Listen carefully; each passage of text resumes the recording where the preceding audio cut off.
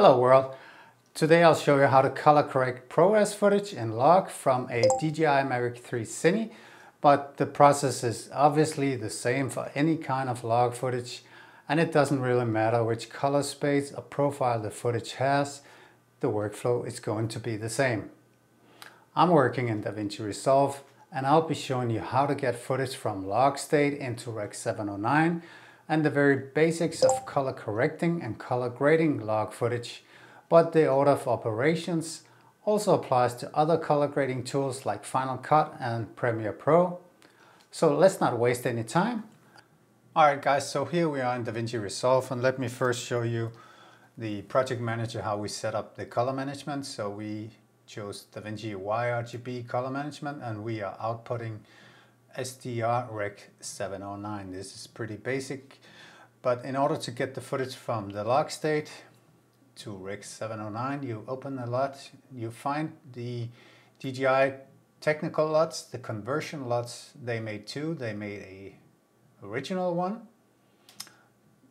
uh, D-Log to Rec 709, and they made one they call Vivid. It's basically the same, it just adds a bit of contrast and saturation. But let me add the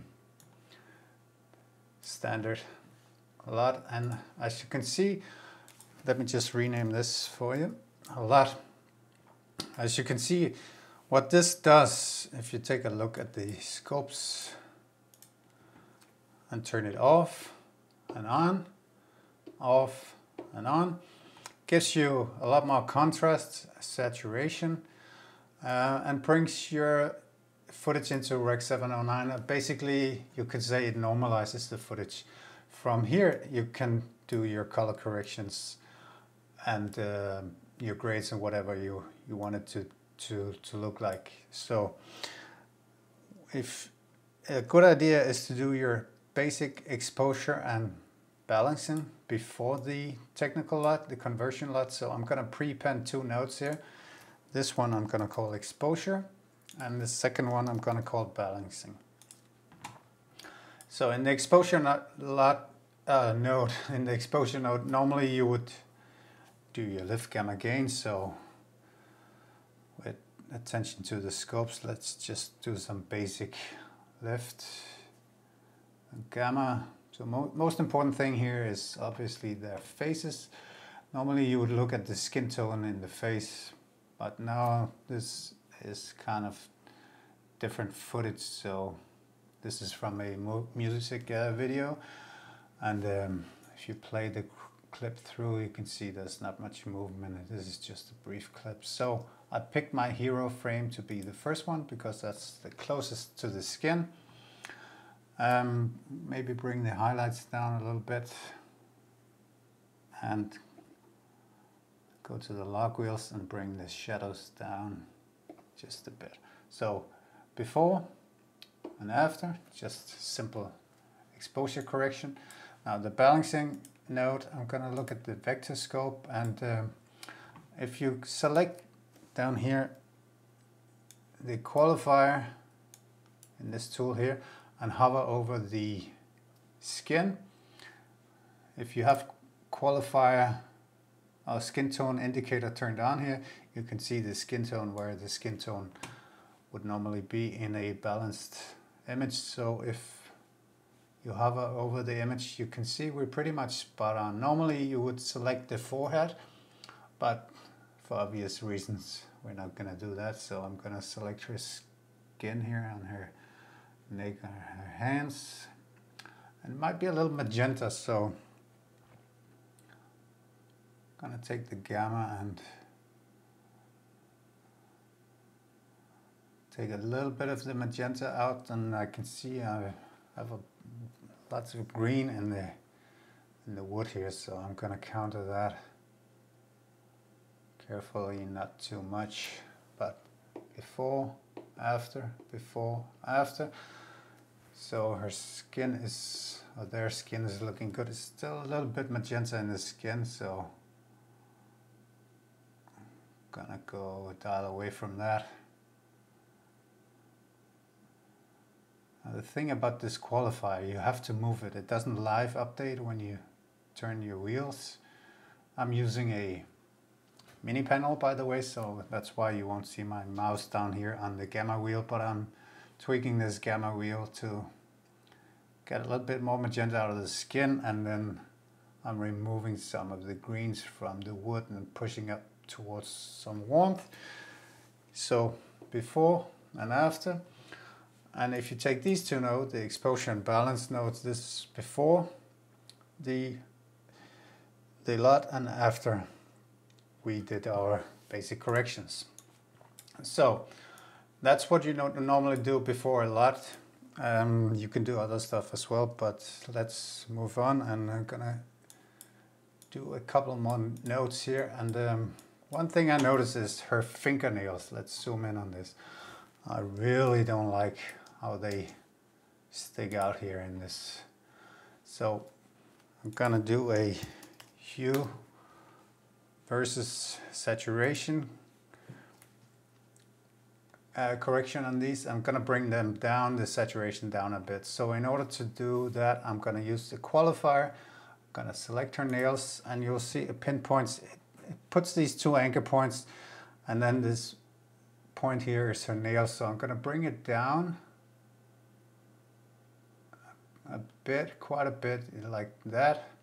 And I'm also gonna bring the Luma down. So I'm gonna select it again and make them just a little bit darker. So before, after, before, after, let me zoom out, before, after. Now the thing is, with this selection, now you're also adjusting her hair.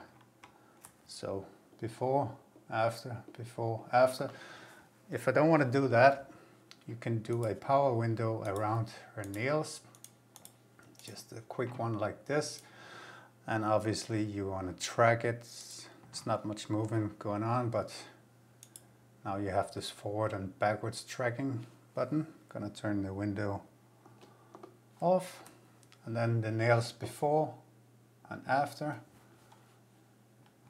Let's zoom in on that before and after much better. Now they're not as obvious as before. Um, I do want to introduce a little bit more, or add a little more saturation. So we're just going to do it the old-fashioned way and just turn up saturation knob a bit.